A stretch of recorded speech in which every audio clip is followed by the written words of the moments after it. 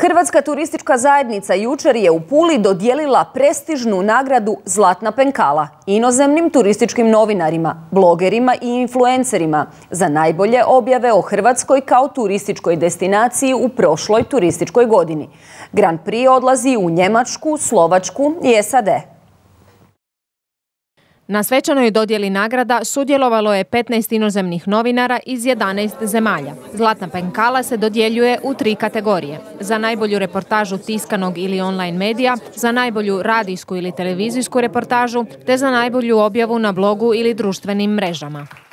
Istra je naša najrazvijenija turistička regija i meni je drago da se novinari ove godine, a ima ih 16 ove godine, na manifestaciji e, mogu na licu mjesta uvjeriti da je Hrvatska ove godine također sigurna turistička destinacija, da je odlično pripremljena, da su i Pula i Istra, ali i cijela Hrvatska odradili sve domaće zadaće u smislu mogućnosti prihvata turista i ove godine i njihovog sigurnog boravka u Hrvatskoj. Ova manifestacija je važna i zbog toga što će novinari e, i ove godine pronijeti vijest i riječ o Hrvatskoj, o e, hrvatskom turizmu, o sigurnosti u Hrvatskoj i na taj način zasigurno doprinijeti dodatnoj promociji Hrvatske na našim najvažnijim emitivnim tržištima.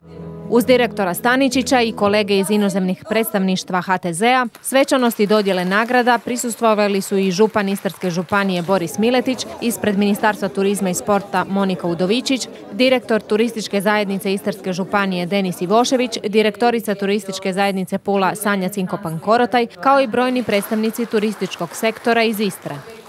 Svi skupa znamo da je Istra sigurno najrazvijenija turistička regija koja čini gotovo jednu trećinu hrvatskog turizma i to nije rezultat slučajnosti nego vrlo jasne vizije koje smo imali razvijajući upravo naš, turistički proizvod i našu turističku infrastrukturu kako ne bi nudili samo sunce i more već i druge turističke proizvode, produžili turističku sezonu.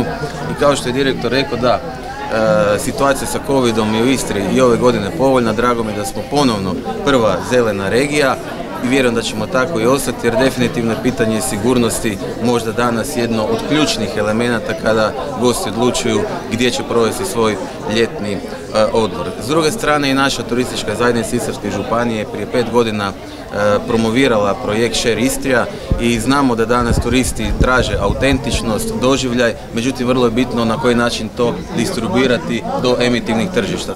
Ovogodišnja dobitnica Grand Prix nagrade za najbolju reportažu tiskanog medija je njemačka novinarka Helene Schmidt, čija je reportaža objavljena u renomiranom mediju Auto Bild, lideru njemačkog digitalnog tržišta s preko 13 milijuna korisnika te 56 milijuna posjeta samo u prošloj godini. Nagradu za najbolju reportažu elektroničkog medija dodijeljen je slovačkoj ekipi TV Markiza i novinarima Branislavu Tomagi i snimatelju Miroslavu Žilki za serijal od 10 epizoda o Hrvatskoj koje su išle uživo, od Umaga do Dubrovnika.